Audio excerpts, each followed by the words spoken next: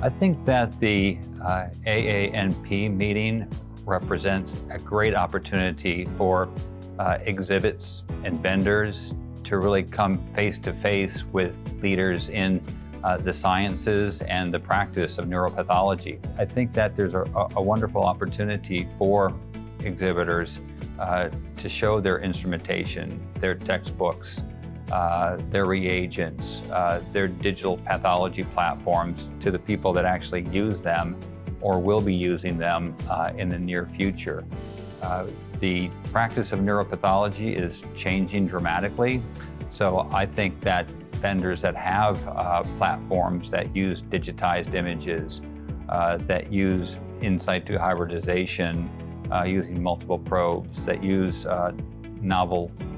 approaches to immunohistochemistry uh, or FISH testing, uh, I think there's a, a lot of uh, possibilities here to come face to face with the people that will be um, offering guidance on which platforms to order for the future.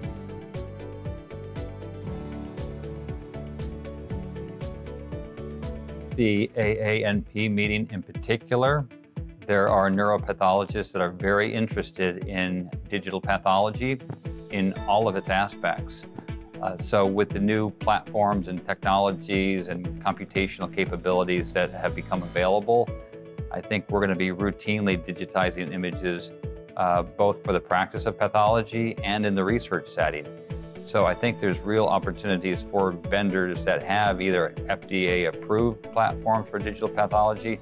or platforms that are meant really for the uh,